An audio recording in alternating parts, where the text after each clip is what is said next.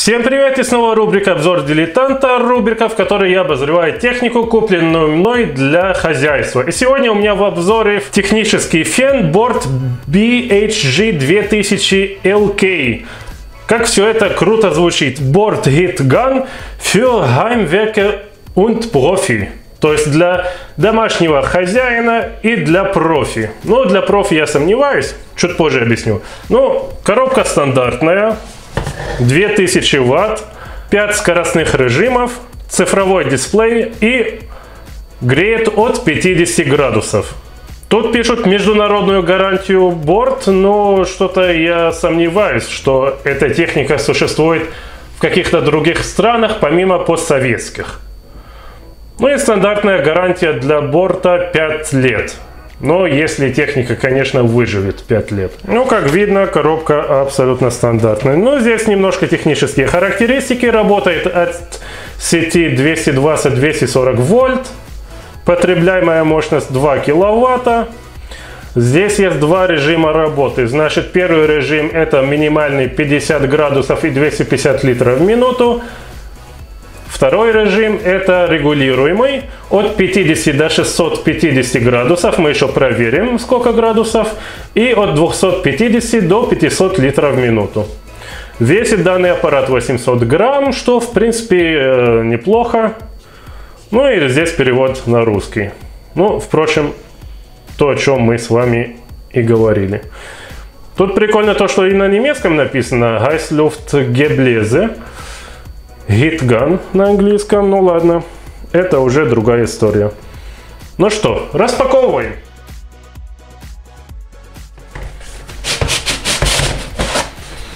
Ну, коробочка из такого дешевого пластика, я думаю, пару ударов выдержит, ну и э, если постараться, то коробка слегка сломается.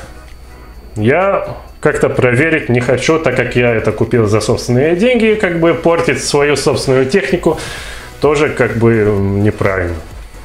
Открываем.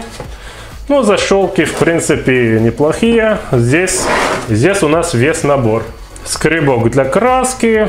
Опять же, скребок с ручкой. Ручка где-то здесь, я предполагаю. Вот она. То есть это сюда прикручивается как-нибудь. И все это зашкребаем.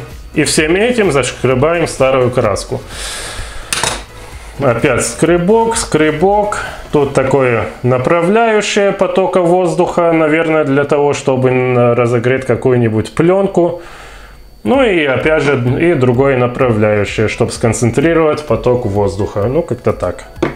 Ну, на мой взгляд, это для этого. Если у вас есть другое мнение, то пишите в комментариях. Ну, это гарантия. Фен куплен в интернет-магазине Здесь могла быть ваша реклама. И переходим к самому фену. Уберем набор в сторону. Пластик на вид очень качественный. Ручка прорезиненная. Не, не знаю, как долго продержится эта резина и не отвалится, но в принципе неплохо. Но здесь не резина, правда, а опять же пластик.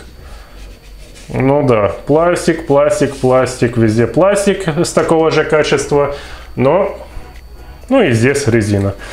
Выключатель, значит, первый режим, о котором мы говорили, самый минимальный, но, наверное, это режим холостого хода. Если, в принципе, мы что-то там прогрели на втором режиме, то переключаем на первый режим, и у нас, э, чтобы не остыл фен, как бы будет работать на минимальных, так сказать, оборотах. Ну, это так выключен. Кнопочки. Кнопочки, в принципе, качественно нажимаются. То есть я не думаю, что за один год работы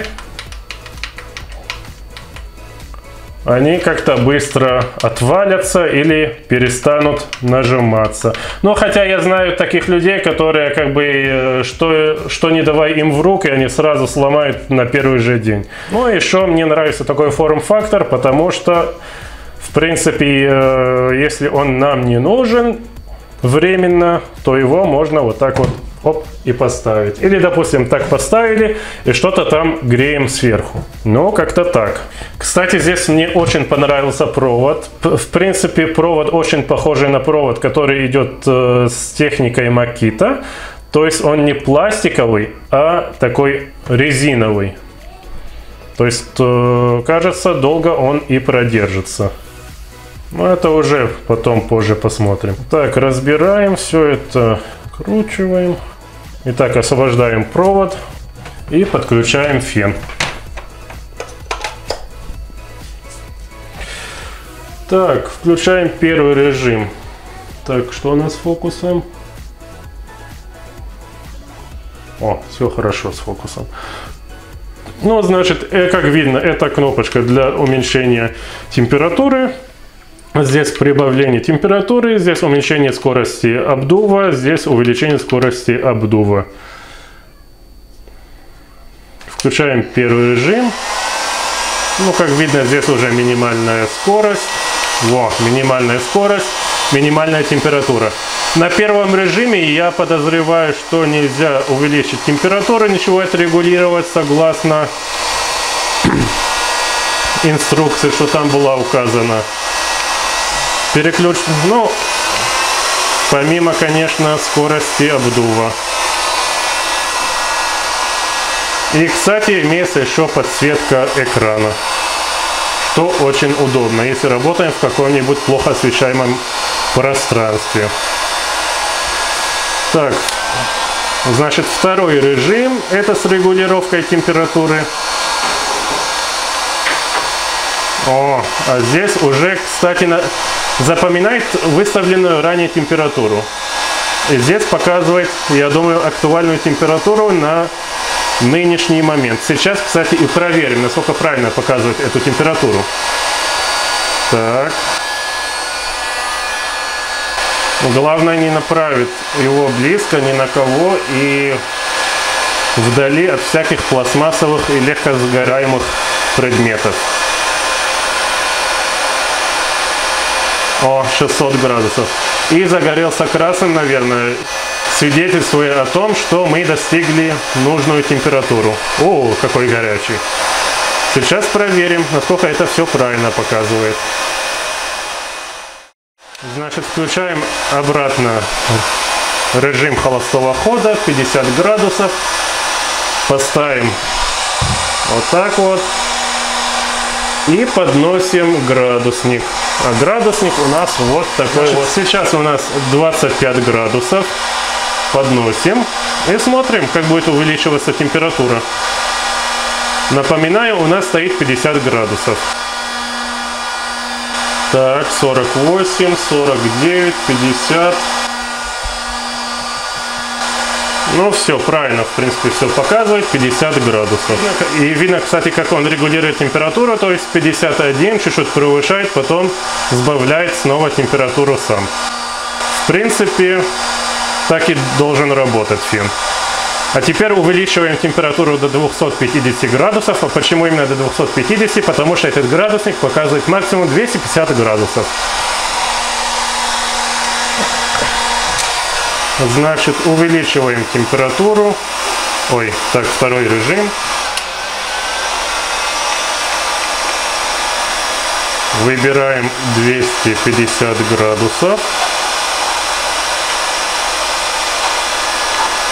Вот 250. Ставим фен и снова измеряем.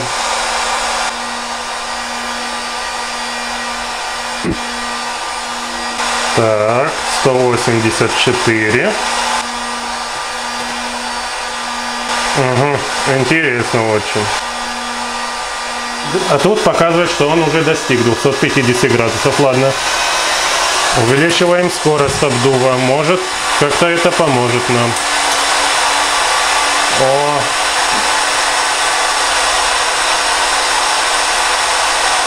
230, 235, 40, 42. Давай, давай, чуть-чуть, чуть-чуть осталось. 45, 47, 48. Ага, чуть-чуть. Еще чуть-чуть. Ага, 49. Давай. А теперь осталось проверить и 600 градусов. Каким образом? чтобы меня было слышно. Значит, мы все знаем, что термоусадка для, провод, для проводов сужается при температуре 600 градусов. Сейчас принесу термоусадку и проверим.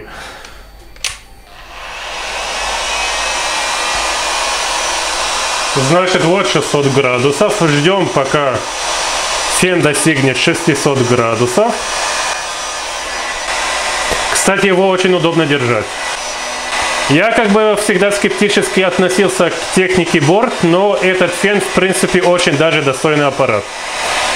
Этот фен со скидкой мне вышел в 30 долларов. А так, сейчас его можно найти за 50, где-то 45 условных единиц. Все, достигли 600 градусов по версии фена на минимальной скорости. Сейчас посмотрим. О, как хорошо покраснел. Значит, вот у нас кембрик смотрим. Ну, в принципе, да. Дель-дель-дель-дель-дель.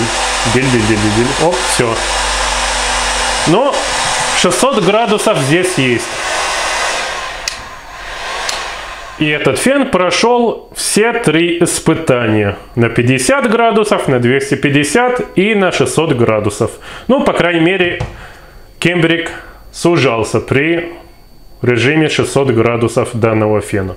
Это был обзор дилетанта на фендборд BHG 2000 LK. Спасибо огромное, что посмотрели это видео. Ставьте лайк, подписывайтесь на канал, посмотрите другие видео в канале. Всем огромной-огромной удачи, хороших покупок и пока!